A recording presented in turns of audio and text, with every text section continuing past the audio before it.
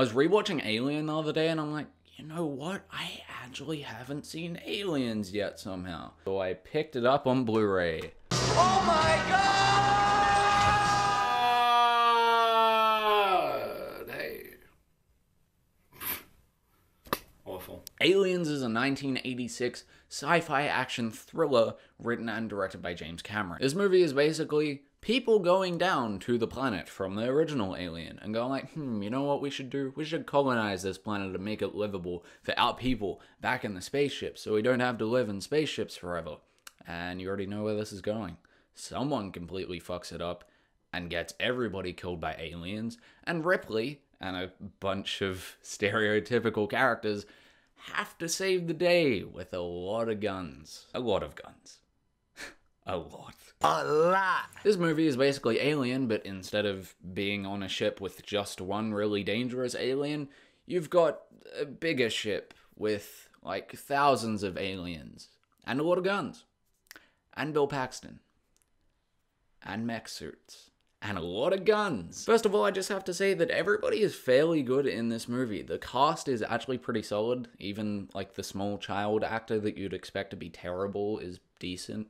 It's kind of weird that she went on to do nothing but alien documentaries afterwards, but hey, she was good in this. Sigourney Weaver is really good as Ripley. I mean, she kind of struggles in the dialogue parts in the first act, but I'm gonna blame that completely on the clunky dialogue. She's fantastic in the emotional and action scenes, though, as she is in the first movie. I would almost argue that she's better, but it's a different type of good. Bill Paxton plays Private Hudson, a really, really douchey alien military guy that says man a lot. He plays the role pretty well. Uh, he has some really good lines in the movie. Uh, one of which was actually improvised, which is like one of the most famous lines of the movie. That's it, man. Game over, man. It's game over. That was completely improvised by Bill Paxton. Nice job. I also quote, they're coming out of the goddamn walls pretty much every day, at least every second day. I don't know how I get the opportunity to reference it that much, but I do. First thing I absolutely love about this movie is how well directed it is. I mean, it's not a surprise coming from James Cameron. I mean, he directed T2. You kind of you kind of have to just he gets a pass for everything that he has ever made that's bad for that one. I really enjoyed the shots from the Marines helmet cams. It added another layer of suspense to the movie where it needed it. You know, it would be a nice wide shot of all of them and then boom, straight to the helmet cam and you're like, oh god, I'm scared now because I know that I am very vulnerable here. The environment of the movie is also really good. I liked that, especially when they were going into like the alien hive. I was like, oh god, get out of there now. I was trying to speak to them. I'm like, I do not want to be in here right now. It is a small corridor, like filled with like alien goo.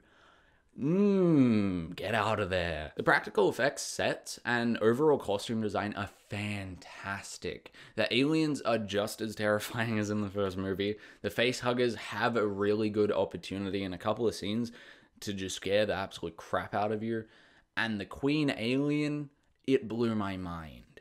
Seriously, it's crazy. If you've never actually heard of the queen alien from this movie and the movies past it, don't look it up on Google Images. Just watch this movie. Seriously, in the final act, oh my god, it is like, whoa. the effects are so good. I don't know how you would make something like that. Nowadays, it would just be made out of CGI. And while it still would take a while to make in a computer, it's really impressive that someone really made like this working machine that like spits out alien eggs from this thing that looks like a dick. The character development scenes of Ripley are really good, and it's not that they're fantastic or extremely emotional, it's just that I really love Ripley as a character. I think we all do, and learning more about her is really good. That being said, though, unfortunately, they're only in the special edition cut, something that the Blu ray actually offers as well as the theatrical cut. Uh, the the special edition cut is like two and a half hours long, but I still recommend it, and so does James Cameron. Can't argue with the guy who made T2.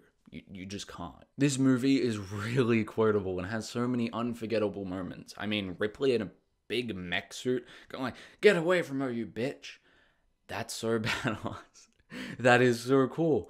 It's also terrifying because I would run away from Ripley at that point. I would run so far. I'd run until my legs like break away into stumps and then I'd keep running until my legs fell off and then I'd crawl because Ripley is that cool. I will never be as cool as Ripley. None of us will. She's she's just the best. That being said, though, this movie isn't perfect. The dialogue in the first act can be kinda clunky, and I think it honestly would have been a lot better if they just went over it one time more or even had a whole different draft of it. I don't know, the dialogue is really awkward, especially Ripley's dialogue. And it's only a couple scenes here and there. A lot of them in the middle are really good. The action scenes can also kind of be seizure inducing. Like, seriously, there's full white screen flashes, muzzle flashes everywhere, screaming, and then, like, the thing from the first Alien movie where it has the fan, you know, that cuts the light and it makes everything look stop motion. That's in pretty much every hallway. Uh, watching this in a dark room, like a pitch black room with a really bright screen, is not my recommendation. I don't know, that's probably just me though, because I don't really watch many action movies, so I'm not used to it. Overall, is this movie better than the original Alien? No. It's flawed. It's definitely flawed. But I found myself enjoying this movie more than I enjoyed Alien and The Martian. Two movies that I would honestly give solid 10 out of 10s and would rewatch at the drop of a hat. The action is really good. I liked how it was done. It's not just dumb action. It's Ripley getting revenge. It's her getting payback. Ripley is honestly really cool in this movie. I love her character because of how human she is. You know, she's relatable. She gets scared. She gets scared quite a lot. But at the end of the day, she's always brave enough to save the day. And that's usually with a lot of guns. A lot of guns in this one. I give Aliens a 9 out of 10. My buy it on Blu ray seal of approval. Seriously, I, I really do recommend you see this. Pick it up on Blu ray. It's got both the special cut and the theatrical cut. You can decide which one you like best. Eh, I'm just gonna say special edition because it has extra scenes and it has turrets in it. So it has to win. So I guess that's it. I'm I, I don't know. I guess I'm more of an aliens person. I mean, logically, I know that Alien is just the better movie, but I don't know. I, I, there's something about aliens that I really like. Seeing a lot of aliens getting blown away is awesome. Have any of you seen Aliens? What did you think? Uh, do you have anything else you want me to review? Whatever it is, leave it down in the comments. I actually do read all of them. Anyway, I hope you all have a great day and happy watching. Oh yeah, by the way, I have a review for Ant-Man coming. I've written it. I just need to clean it up quite a bit. It is a little bit messy. It's like two and a half pages long, which is probably a bit too long for a movie like that. It's good though. It's good is all I'm saying. yeah. God damn, Jimmy. This some serious gourmet shit. Bonnie goes shopping, she buys shit. I buy the gourmet expensive stuff because when I drink it, I want to taste it.